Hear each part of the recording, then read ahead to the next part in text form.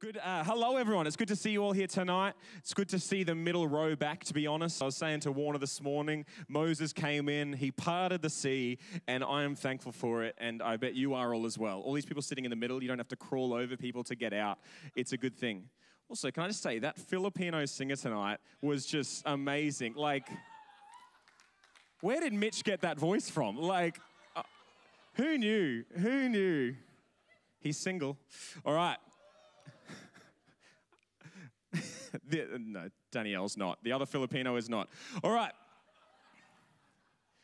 We're going to just jump straight into it tonight. I'm excited that you're here. There's faith in the house. You know, Pastor Joe was, the worship was great. Pastor Joe has really stirred us tonight. And it's just, you know, it's all aligned. It's all kind of heading the same direction, which is always good, which always like makes the, the preacher feel good when everything seems to be pointing towards the word that God has given them. But before I get into it tonight, can I just have your attention? I know that like people zone out. Can I, is it fair to say that pretty much everyone here, I would say 99% of you who are here, would like to say, like when you leave tonight, you would like to say that you received something from tonight. You would like to say that you got something out of tonight. I think that's fair to say that everyone would like that. I know it doesn't always happen, but I want to encourage you tonight. I was at a conference recently, and the guest speaker said something along the lines of, you know, it just make a decision to get something out of tonight. I know it sounds weird. I know you're like looking at me right now and it's like, that's your job. That's your job to make sure I get something out of it. But I'm bringing a word from God, and it actually is a bit of a two way thing. So I encourage you, take a second now to just decide that you're going to get something out, to look for something for yourself, to even pray, God, give me something out of this message. And even just a, a testimony around this. We're doubling up on this testimony almost, but I'm giving you part two. Pastor Mark shared it last week. But a couple of weeks ago, I was on my way to church and I was facing like a little bit of almost frustration, kind of with God, kind of not, kind of with myself. But I was heading to church and I was just thinking about our prayer times that we have in worship. And I was thinking about how every week we, uh, after, you know, in the middle of worship, we call people for, for, prayer and we say, you know, we have an opportunity to pray for you. We're believing for miracles. And I say that when I'm worship leading, I say that and I believe it. I'm like, I believe that we can see miracles, that God can do something in your life. But I was just driving to church and I'm like, I haven't seen any miracles. I'm like, where are the miracles? I, know they can happen. You know, I know they will happen. I have faith to see that they happen, but where are they? And so, you know, out of my frustration, after I had my little like tantrum, I, I prayed and I was like, God, this morning, I was, I was going to be praying for people, and I'm like, God, let something happen this morning. When I pray for someone, let their, like, you know, let someone really receive a touch. I was like, there's people who are coming who need a touch, and I'm like, God, let them receive a touch. And so it came to the time, come forward for prayer, and I went over, stood by the side, and I prayed for two people, and I prayed for them, and they didn't fall over. They didn't say, like, thank you so much. Like, that was exactly what I needed. I prayed for them, and then I went back to my seat, and I to be honest, I didn't think of it much. I'd already kind of forgotten. And then the rest of the service happened, and then the week happened. And then I received a call from Pastor Mark later in that week, and he was just, you know, being a, a good boss and good pastor and just letting me know that he just received a testimony that uh, the one of the, the men that I'd prayed for had the situation was with work, and things were just terrible with work and the culture and the situation there, and he just needed some relief from it. He was just like, I just need something. I just need an answer. I need God to do something. And so I prayed for it, and I, I just prayed that God would do something then, that God had him there for a purpose. And apparently, the next day he went to work and everything was just completely different. Everything had changed. He was going to take time off, but then he didn't need to take that time off. And God did something. God touched that situation. And after that, I literally, I hung up the phone and I laughed. I'm like, I, I just laughed because I'm like, God, you're good. Like, do you know, he, it's obviously amazing for that man, but just for me as well, that God hears our prayers and God hears us when we ask for these things. And, you know, we don't do things just to make ourselves feel good. But after that, I'm so built up in my faith and I'm just excited now, just praying for people. It's like, I want to pray for people. I want to pray for people because that happened. And so, even right now, we're not going to pray for it right now, but even your head, just God, I need something tonight. I want to receive something. I want to see something happen. Just say that to yourself tonight. But we're going to get into the word I believe I have a word tonight that's been sitting on my heart for a couple of weeks, and uh, we're going to dig into it. It is 2 Corinthians. We're starting in chapter 4, verse 16. We're going to end in chapter 5, verse 7. So we're starting in chapter 4, verse 16. So if you need to flick to your Bible, I'll give you a couple of seconds. 2 Corinthians 4, verse 16 tonight. All right. So starting in chapter 16, it'll be up on the screen. And it starts and says, So we do not lose heart. Amen. We do not lose heart. Though our outer self is wasting away, our inner self is being renewed day by day. For this light, momentary affliction is preparing, uh, uh, preparing for us an eternal weight of glory beyond all comparison, as we look not to the things that are seen, but to the things that are unseen. For the things that are seen are transient, but the things that are unseen are eternal. The things that are seen are only momentary. The things that are seen are temporary, but the things that are unseen are eternal. Our heavenly dwelling. Verse uh, chapter 5, verse 1. For we know that if the tent that is our earthly home is destroyed, we have a building from God, a house not made with hands, eternal in the heavens. For in this tent we groan, longing, some of us, this tent, our bodies, some people groan more than others. Uh, Pastor Mark saying that there. In this tent we groan, longing to be put, uh, to put on our heavenly dwelling, if indeed by putting it on we may not be found naked. For while we are still in this tent, we groan, being burdened, not that we would be unclothed, but that we would be further clothed, so that what is mortal may be swallowed up by life. He who has prepared us for this very thing is God, who has given us the Spirit as a guarantee. Remember that, that He has given us the Spirit as a guarantee. So we are always of good courage. We know that while we are at home in the body, we are away from the Lord. And this is what all comes to Verse 7 For we walk by faith, not by sight. We walk by faith, not by sight. The, uh, tonight, my, my message is called The Filter of Faith. Turn to someone next to you and say, The Filter of Faith. Turn to the other person and say, I'm looking through the filter of faith. If you want an alternative title, it is Live Working, Walking by Faith. Uh, what's our theme this year? There you go. You got to do it. So that's a little subheading live walking by faith. But the filter of faith, let's pray tonight. Lord, we just thank you that as we gather around your word, that you have a word for us specifically tonight. That every single person here, there's something that you want to say to each person. It might not be the same, Lord, but you've prepared this word for every single person who is here. You have something for them tonight. And I just pray that as uh, I speak, Lord, it wouldn't be me that comes through, but Lord, it would be you, Father. It would be what you want to say, God. And we just pray that you would receive glory from this, Lord, and we would leave tonight looking through the filter of faith. In Jesus' name, everybody said, Amen. Amen. Amen. So, church, here's a little fact about myself. Not everyone would know it. Actually, probably most people wouldn't know it, but some people would. And that is that I, unless I've said it on stage, that I am colorblind. I am actually colorblind. And the first thought that comes to everybody's head is they want to ask me, they're like, oh, what color is this? What color is this? They point something out. Every time I tell someone that I'm colorblind, they grab something, a certain color, and they're like, what's this? What's this? Or they ask, like, oh, so can you can't see any color at all? Like it's just black and white. And I'm like, I can see color. It's a little bit different. I am terrible at the colorblind test though. You know those like dots? You know all those dots? I just never, I can just never see them. I'm really relating to Pastor. Are you colorblind, Pastor Mike? Yeah, yeah, yeah. I'm just relating to my senior pastor right now because I just can never see anything in them. And oh, it's so annoying because people see it and they're like, I can see it and you can't. That's my brother. I was specifically quoting my brother right there. I've just never been able to see them just because I've been colorblind. Uh, you know, and people are always like, "What color is this? What color is this?" But I will let you know, while I am colorblind, uh, my auntie is an optometrist, like an eye doctor, and recently I, she did like a, a colorblind kind of test on me to see how colorblind I am, and I'm either really good at being colorblind or I'm really bad because I'm like as the less the least amount of colorblind that you can be. I put all the colors in the right order and everything like that. So I'm okay with that. But when it comes to those dots, I'm useless.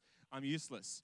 But it's crazy to me that we can look at the same thing. We all have eyeballs, we all have brains, and we can look at something. What's a color? Like we can look at this light, and some of us can see different colors. Now, you can, you know, it's really hilarious. I'm like terrible with blues and purples and pinks and stuff. And so I'm looking at this, and I get really nervous. What? Oh, it's both? Oh, okay, that's why I'm so nervous. I thought it was blue, but then I'm like, there's a little bit of like pink and stuff in there. Anyway, so it's crazy to me that we can look at the same thing and see something different. I can look at something and be like, that's green, because I'm green red colorblind, I think that was called. And I can look at a bush and I can sometimes not see like little red flowers in it. And people will be like, how the heck can you not see this? Are you blind? And I'm like, no, I have 20 20 vision, thank you very much. I'm just colorblind. There's even pictures of things. This is a bit of a throwback, but we've got a picture in there of this classic white and gold dress. Does everyone remember this? I, I said white and gold. Does let me Does anybody stick your hand up if you see blue and white, uh, blue and black, whatever it is? Do you really? I was sure that when I put that up, put your hand up if you see white and gold. That's amazing. Once again, if you see blue and what do you see? You see blue and black. How insane is that? That we can look at that and like, are you colorblind? There you go. Even colorblind. Girls can't be colorblind. That's right. We can look at the same thing. We can look at this picture, and some people see white and gold, and some people see blue and black. This is calling. This is crazy. The church is gonna. We're gonna have a church split out of this. We're gonna have the white and gold service and the blue and black service. church. Okay. Okay. Shh, class. Let's come. Let's hands on heads, everybody. Hands on heads. Oh my goodness, that got rowdy. I did not expect that. That was insane. Take it off the screen, please. It's just, it's, it's too distracting. We need to get it off. There we go. But we can look at the same thing and our eyes can lie to us. Our eyes can tell us different things. Our vision can lie to us. And let me tell you tonight that seeing is not believing. As much as people will tell you that seeing is believing, seeing is believing, seeing is definitely not believing. We saw right there that seeing is not believing because we saw it there and it's like, it's not telling us the truth. I don't know. I think it's actually white and gold. Like the dress, it's just lighting and stuff, but it's actually white and gold. You 100% thought it was blue and black though, and your vision was lying to you. You know, this is drama, drama. The thing is, your, your earthly eyes, your vision, your earthly eyes, the things that you see with, sometimes uh, will tell you lies. They'll tell you things that seem to be true, but they're actually not true at all. In your mind, it makes so much sense. You know, sometimes your earthly eyes will tell you that you should just do whatever makes you happy. So many people these days just say, like, just put yourself first, do whatever makes you happy. Why would you worry about anyone else? You're number one. You do you, boo. You're, you're number one because you only live once. Your earthly eyes will tell you to focus on yourself over others. Your earthly eyes will tell you to, to pursue money and career and all of those things above everyone else because what else would be important? Why would anything else be important? Or why would you give that money away? Because that's yours. You earned that. You can use that yourself. Your earthly eyes will tell you all of those things, but sometimes you have to close your earthly eyes and you have to look through a filter of faith. You need to look through a filter of faith. You know, tonight, let me tell you that when you look through a filter of faith, you, we know that God created the heavens and the earth and He's given us a purpose. He created us for a reason. When we look through a filter of faith, we know that we should live every day for God as a living sacrifice. When we look through a filter of faith, we know that this life is temporary and that heaven is our destination. When we look through a filter of faith, everything else loses value and only one thing remains. When you look through that filter, everything else that seems so important, money, career, even popularity, fame, all those things that in our minds are like, no, that's so important. Your mind is trying so hard to make you think that that's important. You look through the filter of faith, and all of a sudden, that's not important anymore. So let's look at what is faith. The, the, the definition faith faith is complete trust or confidence in someone or something. And so tonight, as we look at walking by faith and not by sight, as we look at the filter of faith, we are looking at having complete trust or confidence in God tonight. Amen? We want to walk away from tonight with complete trust and confidence in God. And for all people that are Christians here tonight, we, we should be able to say, like, yeah, I have complete trust and confidence in God. But I know from my own life that I don't always have complete trust and confidence. With my earthly eyes and my mind and what I think, it's not always my first reaction to have complete trust or confidence in God. And so we need to remind ourselves to keep looking through that filter of faith. And so let's look at Hebrews 11, verse 1 to 3, a very classic scripture about faith. And it says, Now faith is the assurance of things hoped for, the conviction of things not seen.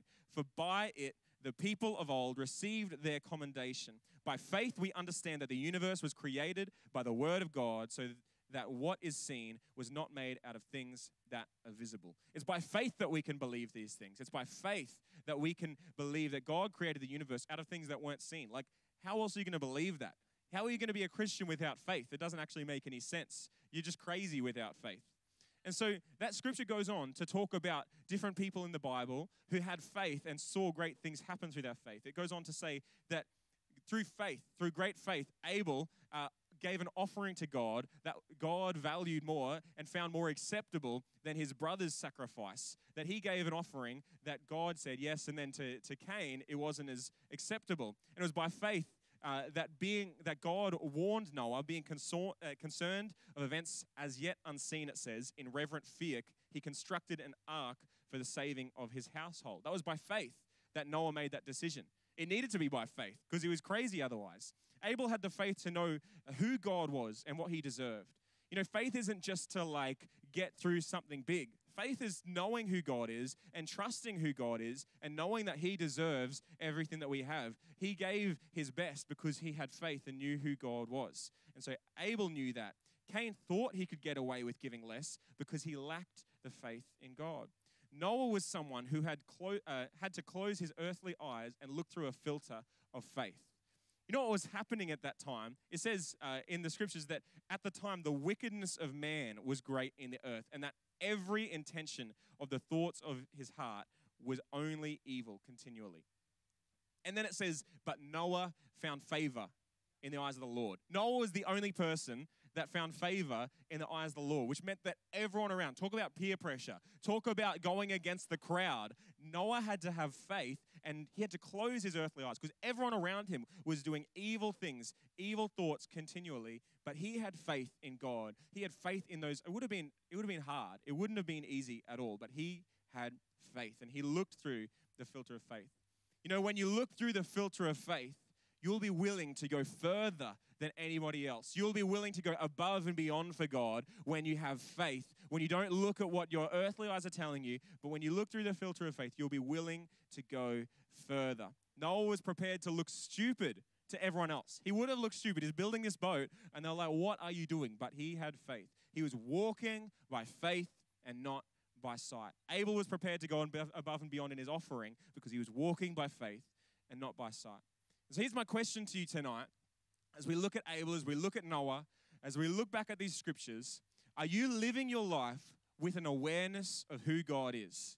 Are you prepared to look stupid to some people in order to follow God's call for your life, like Noah did?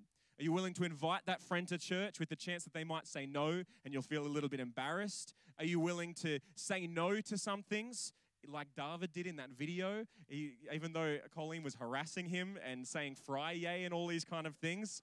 Oh my goodness. Are you willing to, to say no to some things, even though everyone around you, even like the whole earth, that's insane, was saying yes to them? Will you go above and beyond in your generosity because you know how much God has given you, like Abel did? Or will you cling to what you have because you're walking by sight and not by faith? You're trusting too much in your own understanding and not in God. When we look through the filter of faith, everything changes. Everything changes. As we go to another story in the Bible of someone who was walking by faith and not by sight, we go to Matthew chapter 8, verse 5 to 9. And it says, says here, verse 5 When he had entered Capernaum, a centurion came forward to him. This is coming to Jesus, appealing to him. Lord, my servant is lying paralyzed at home, suffering, suffering terribly. And he said to him, I will come and heal him. That's important right there. That's underlined. Jesus said, I will come and heal him. But the centurion replied, Lord, I am not worthy to have you come under my roof, but only say the word, and my servant will be healed. For I am too, I, I too am a man under authority, with soldiers under me. And I say to one, Go, and he goes, and to another, Come, and he comes, and to my servant, Do this, and he does it. And it continues on to say that Jesus was amazed by the faith of this man. Jesus was so impressed by the faith of this man, and he says, He, he heals him right there. In that moment, the servant was healed. He didn't go to his house, the servant was healed in that moment. You know, the Roman centurion was not looking through what he saw in the moment. He wasn't just trusting his flesh, he wasn't trusting what he was seeing. He was looking through a filter of faith, and he understood the authority that Jesus had to heal. He knew that Jesus could heal. And because of that faith, his servant was healed straight away. You know, Jesus, even in this verse, if we pull that, there it is, it says, Jesus even says that he's going to come to his house and he's going to heal him. He's going to go there and he's going to heal him. He didn't say, like in other times in the Bible, Jesus even turns people away and then they press through their faith. They're like, no, please, please heal me. And then he heals them. Jesus had said yes. And the guy knew who Jesus was and he pressed forward and he said, No, no, no. I know you can do it now. God, you can do it now. My question to you tonight is there something that maybe God is moving in your life, but maybe He's also saying, Come on, come on, press in a little bit more. Seek me a, lo- a little bit more in it. You know, ask me for more. Is there something where you're asking for this much, which is nice? It's good. You know, the servant's going to be healed, but you can have it right now. You can have it right now if you take that step forward and you have faith to seek Him and to trust Him and know that He can do it and He can heal in Jesus' name. And as we uh, have a time of ministry later, we're going to be praying for a whole lot of things. But one of those things is we want to have faith to see healing because we believe at Emerge Church that that's something that we can see happen. And we have seen it happen, but we want to see it more in Jesus' name. And this verse that we're looking at, looking at 2 Corinthians 5, verse 7, that we will not walk by faith, not walk by, we walk by faith and not by sight. Oh my goodness, take that out. Uh, it says we walk by faith. We've concentrated on the faith, but it says not by sight. You know, Paul could have just written in there that we will not we walk by faith. That's it. We walk by faith. But he specified that we walk by faith and not by sight. We can't walk by sight. We can't look with our own eyes. We need to walk by uh, by faith. Because if we walk with our own sight, with our earthly eyes, there is just so many things that try to steal our attention. We would know that. I know that every single day, especially now in our current time, there is so many things constantly. It's like people's jobs to be able to grab your attention. Your phone trying to grab your attention constantly. Constantly just things trying to steal your attention. I believe, you know, in the in the word it says that the devil comes to steal. And I believe one of the things that he does is he tries to steal our attention away from God. He tries to steal our attention. When you receive a touch, you know, on a Sunday night, and then you go back into your Monday, and then all of a sudden, boom, your, your attention's been stolen by something else. You know, youth, you go to a youth camp, and you just have the biggest encounter with God you've ever had in your life, and you're like, everything's changed. I'm going to see my whole school saved. And that's good for a couple of days. But then, boom, your, your attention gets stolen away by different other things. And as we look with our eyes, as we look with our earthly eyes, our attention can be stolen away, but we need to walk by faith. Sometimes to get to the destination God has for us, we have to close our eyes. We have to actually shut everything off instead of just walking by faith and trying to do it with our eyes open. We need to close our eyes. We always, you know, a lot of the time think that we know the best way, that we know the best way uh, to, to get to our end goal. Have you ever, like, been trying to do something in life and you try to tell God how he should make it happen? You're like, God, but if, you, if this just happens and then that, like, you know, if you just, like, if you get this girl to fall in love me, with me, like I promise, I promise it'll be good. I promise God. Just tell her that she's meant to marry me. Or if you just give me this this job, God, I promise you. Like I, I I know this is how it's supposed to go. But no, we need to trust in God. Proverbs 3, verse 5 to 6 says, Trust in the Lord with all your heart and do not lean on your own understanding. He doesn't just say to trust Him, but do not lean on your own understanding. In all your ways, acknowledge Him, and He will make straight your paths. Even with your eyes closed, if you trust in the Lord with all your heart, He will make your paths straight. Even if you're, you're, you're just relying on Him, you don't need to do it yourself. You don't need to plan out your steps yourself. He will make straight your paths. And so you may ask, it's about to get a little bit fun. You may ask, how are you meant to see with your eyes closed? Stay with me here. Echolocation. Church, this is how this is how you see with your eyes closed. Does everyone know what echolocation is? Is that what it's called, Pastor Mark? You know animals. All right. Echolocation. Yeah, dolphins, bats, and everything like that. All right, we'll get back to that. Echolocation. This is, uh, you'll trust me. You have to stick with me a little bit there. But have you ever, like, especially when you're a kid, woken up in the middle of the night? It's pitch black. You get up. You need to get a drink or something like that. And you get up and you're like, all right, I'm going to do this. I'm going to do this without turning the lights back on. And you're kind of walking. You cannot see a thing. You're walking out with your hand in, and then, like, you feel something, you go around the corner, and I've done this plenty of times before when I was a kid, and then a couple of times, like you'd run into something and just something would fall over and you just ruin it. But you're like trying to do it. And then maybe you're like, you're feeling around to try to see it. Because you cannot see in the dark. You cannot see with your eyes closed. You cannot see in the dark. We were not created to do this. But you know who can see in the dark? Bats. So tonight, I want to welcome you to Bat Facts at Emerge Church. Let's pull it up. Welcome to our first series of Bat Facts in Emerge Church. It's a little bit hard to say. Uh, I feel like I'm going to say something bad. Bat facts. Anyway, bats can see in the dark. They're not blind, apparently. They uh, they can just see in the dark. At nighttime, they can still see because they don't use their eyes. They use echolocation. We need that like bats. And stick with me, and you'll find out why. And so, some bat facts tonight that when bats are in the dark, they don't use their eyes to see, they use sound waves to see. Maybe a lot of you know this, but maybe some of you don't. Uh, you know, humans can hear sounds at frequencies from 20 uh, waves per second to 20,000 waves per second. As you get older, that range gets a little bit smaller. Bats can hear and produce sound waves, uh, sounds at 100,000 waves per second. So that's way out of what we can hear. They can make noise at 100,000 waves per second. They can hear waves, sound waves at 100,000 waves per second. And they can actually chirp uh, 160 to 190 times per second. I don't understand how that works. It doesn't make any sense to me, but I'm walking by faith and not by sight and believing that they can do that. I don't understand how in one second they can chirp that many times, but YouTube said it, and so I believe it. Um, and so, what bats do is if they're in the dark and they're looking for some food, they use this chirp that they can just go and we can't hear it, but they can. If you look it up on YouTube, they slow it down, you can hear it.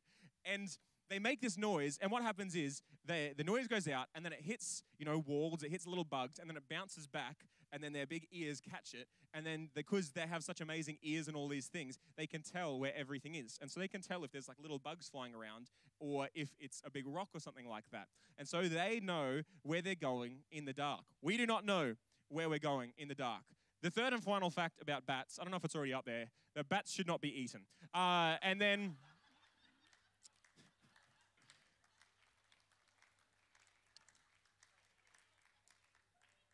I didn't know how that was going to go down. I'm glad that went well. so let me tell you, I'm not going to tell you why bats shouldn't be eaten. I think we all know that. But let me tell you why we need echolocation and how we can have echolocation. Unless you've got really big ears and a really high voice, you're probably not going to be able to do it like bats. But as the band comes up, I'm going to tell you why and how we can use echolocation tonight. Our echolocation isn't a, a high pitched chirp, our echolocation isn't really big ears or anything like that. Our echolocation is the Spirit of God. Our echolocation is the Spirit of God, and we need the Spirit of God. If you're going to walk by faith and not by sight, if you're going to take any big faith steps in life, you need the Holy Spirit. You need the Spirit of God. You need the guide. And when we cannot see with our earthly eyes, we need to rely on the Spirit. We need to rely on that guide that God has given us. You know, in that uh, scripture that we read at the start, in 2 Corinthians 5, verse 5, it says that the Spirit has been given as a guarantee. It's been given as a guarantee for us. And the Spirit is our guide. The Spirit will guide you through. When you can't see, when you don't know where you're going, the Spirit will be your guide. And sometimes when you feel like the Spirit isn't speaking, this is where bats come in, this is where echolocation comes in. When you feel like the Spirit isn't speaking, you're like, God's not speaking to me. I feel like God's being silent. I feel like, you know, come on, God, speak to me, something like that. You know, for a bat to be able to know where it's going, the bat first needs to make some noise the bat needs to send out the signal first for it to bounce back. Sometimes, if you feel like nothing's coming back, sometimes you need to make a little bit of noise. Sometimes you need to, to lift your voice. Sometimes you need to, to fast, to, to pray, to get a little bit desperate. If you're going through something and your first reaction is, God, you're just being quiet, if you just stomp your feet and you're like, God, why aren't you doing anything? What are you doing? What are you doing? What noise are you making? What are you doing to be able to hear from God? Are you getting on your knees? Are you getting desperate? Are you praying? Are you fasting? Are you having times of worship? When's the last time that you spent a time with God and just and just felt his presence? Not in church, not in worship time, in your own time by yourself. When's the last time that you even just cried in God's presence? That might be a little bit hard for some people to take in, but God is good and he's not just for a Sunday morning or a Sunday night. God is for us at all times. And I want to challenge you. I challenge myself with this. Don't let it go too long between times that you have an encounter with God where you just just I sit there and God, you're just so good. God, you are so good. Even in my struggles, even in my pains, you are so good, Father. Even just move to tears, move to emotion because He is so good to us. Don't let it go too long.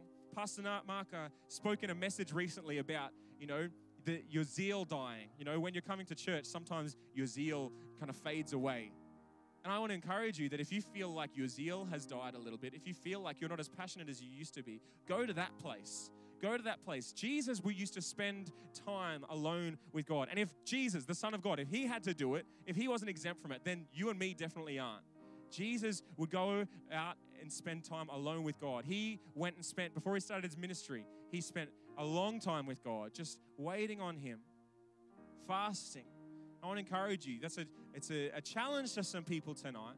That if you've been going through something, you feel like you're a little bit frustrated, or you're just like, why isn't something happening? Fasting isn't just for pastors, it's not just for even volunteers or leaders, it's for everyone. There's nothing that says that fasting is for anyone in particular, it's for everyone. And you can really see a change when you fast and pray over something tonight. That was a little bit off, but I really believe for that that we need to uh, we need to there needs to be more fasting in the church. Whatever happened that, you know, it just became a really specific thing. We should fast more. I'm going to fast more. God, Holy Spirit just said that. There we go. So we need to make some noise. So give give God something. Uh, you know, it says in the Bible that ask. He wants to hear us ask. He wants us to ask in His name. Ask, seek, knock.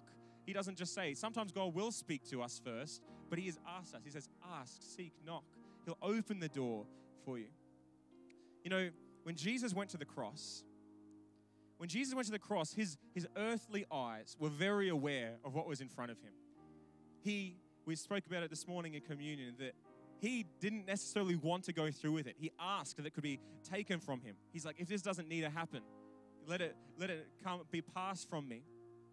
He didn't want to do it. His earthly eyes didn't do it. But his, when he looked through his eyes of faith, through his filter of faith, he knew that there was more. He knew that it wasn't just a death. He knew that the pain and the suffering would be worth it because he knew that there was something in front of him. He knew what would be happening. He knew that there was heaven opened up for all of us. He knew that freedom was there for all of us freedom from sin, freedom from shame. He knew that victory was behind this death. And so while his, in his earthly eyes he didn't want to do it, he went through with it. And thank you, Jesus, for that. You know, one of the last things I want to kind of bring forward as we look at the filter of faith before we pray is that this verse is kind of actually looking around the idea of that this life is temporary. This life is, you know, it's like we're just in a tent. This life isn't permanent, it's not the final destination. And as we live this life, as I was saying before, there's so many things that try to steal our attention. There's good things in life. Family is great, friends are great, all these things are good. Money isn't evil, but these things can try to steal our attention. And let me, as one kind of uh, idea of this, by tomorrow morning, you probably have forgotten my message. By tomorrow morning or tomorrow afternoon, you'll probably be driving home from work and you've probably forgotten completely about this message. And that's just the honest truth. Or maybe by Wednesday if you're a real Christian. Uh, sometimes I'm not a Christian, real Christian, then if that's the criteria. Uh, but like that's just the truth. So much happens. So much happens in our life that our, our attention can just be stolen away. And that is actually why. That's why we need to walk by faith and not by sight. That's why sometimes we need to close our eyes to some things. We need to maybe spend less time watching Netflix and more time in the Word of God. We need to spend less time listening to this podcast and more time just in worship. And I know that's not a, probably a very popular challenge, maybe it is, but it's just we're called to be different to others. We're called to live a life that's different to the world. Are you living your life different to the world? Or are you watching just as much Netflix and listening to other things than you are reading your Bible and spending time in worship? God has called us to more, and this life is so temporary. You know, there's a quote from C.S. Lewis. I'm pretty sure it's from the book uh, Mere Christianity. It says, If you read history, you will find that the Christians who did the most for the present world were precisely those who thought most of the next. It is since Christians have largely ceased to think of the other world that they have become so ineffective in this. Oof. I'll read that first part again. I'll read the whole thing again, actually. It's good. If you read history, you will find that the Christians who did the most for the present world were precisely those who thought most of the next. It is since Christians have largely ceased to think of the other world that they have become so ineffective in this. How much are you thinking about heaven? How much are you thinking about eternity? I don't necessarily think about it every day. I should be. I should be thinking about it more because as you look through that filter of faith, as you look through the filter of eternity, it changes how you think, see everything as well. If you know that this life is temporary, if you recognize that this life is so temporary, and we have a small time to do what God has called us to do. We have a mission that God has given us. We have a small time to live that out. When we live with heaven in mind, it is so much easier to walk by faith and not by sight.